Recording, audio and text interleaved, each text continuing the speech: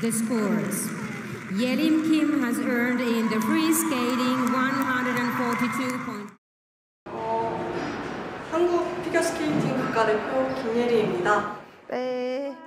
벌써 이번 시즌 두 번째 금메달이신데 오늘 경기 마치고 소감 짧게 얘기해 주실 수 있을까요? 어, 여태 수많은 시합 중에 거의 가장 긴장을 많이 했다고 해도 과언이 아니었는데 다행히 연습한 대로 오늘 시합 잘 풀어나갈 수 있어서 되게 감사한 마음입니다.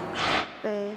그럼 이번 시즌이랑 앞으로의 각오 같은 거 얘기하면서 한국 팬분들한테 메시지 또 해주실 수 있을까요?